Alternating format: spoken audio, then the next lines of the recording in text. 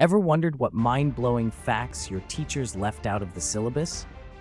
Did you know the world's first computer wasn't built in Silicon Valley? It was built by the ancient Greeks over 2,000 years ago, and it spent centuries at the bottom of the sea. In 1901, sponge divers off the coast of a tiny Greek island called Antikythera stumbled upon a shipwreck. Inside, they found what looked like a corroded hunk of metal. But when archaeologists examined it, they discovered something incredible a complex system of gears and dials, now known as the Antikythera mechanism. This ancient device, built around 100 BCE, could predict solar and lunar eclipses, track the positions of planets, and even mark the dates of the ancient Olympic Games.